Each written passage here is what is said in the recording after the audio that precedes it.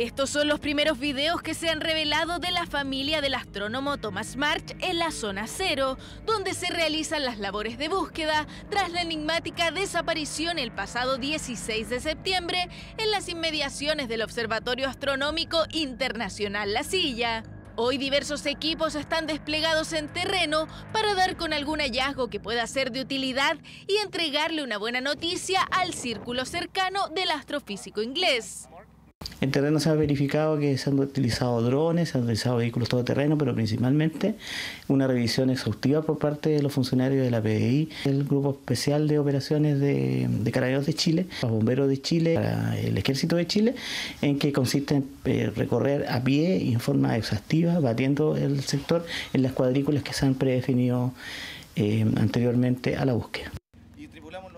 El equipo de frontera norte de la Policía de Investigaciones instaló su campamento base y puesto de mando en una quebrada, ubicada a pocos kilómetros del límite entre las regiones de Coquimbo y Atacama, para desplegar sus capacidades técnicas en la zona.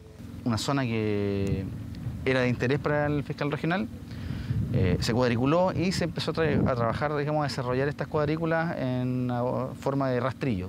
Y eh, a medida digamos, que hemos ido avanzando, hemos ido encontrando algunas cosas de interés eh, que quedan a interpretación ¿no cierto? Del, fiscal para el, progreso de la, de la investigación. La primera misión de los detectives duró 15 días durante el mes de octubre. Ahora retomaron el objetivo con su equipamiento y logística.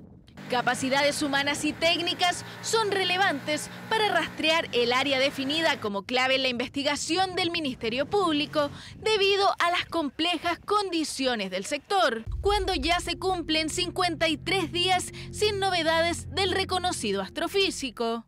El terreno es bastante amplio, bastante complejo geográficamente y climáticamente. Todo esto son cordones montañosos. La superficie del terreno es dura, con mucha piedra, eh, lo que hace bastante complejo el ascenso o descenso de estos cordones montañosos. Las vertientes también son rocas muy grandes y bastantes cascadas secas. Obligan, en este caso, a nuestro equipo a hacer trabajo de cuerda para poder revisar. Labores de búsqueda se han centrado en ciertos cuadrantes de interés que son posibles rutas. Felicity, esposa de Thomas March, y sus hijos Tab y Henry continúan en la región de Coquimbo y han recorrido las zonas de búsqueda en compañía del fiscal regional, quien se encarga además de dar cuenta del desarrollo y desafíos de cada jornada. Han pasado bastante seguido en realidad a nuestro campamento base. Eh, nosotros nos damos el tiempo de explicarles diariamente los avances de nuestro trabajo, y la proyección de lo que, lo que viene en los días, en los días venideros.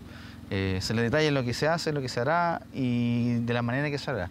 Según lo planificado, las labores de búsqueda se extenderán hasta el 15 de noviembre, plazo que podrían ampliarse si la Fiscalía así lo define, en caso de contar con nuevos antecedentes o hallazgos durante los próximos días.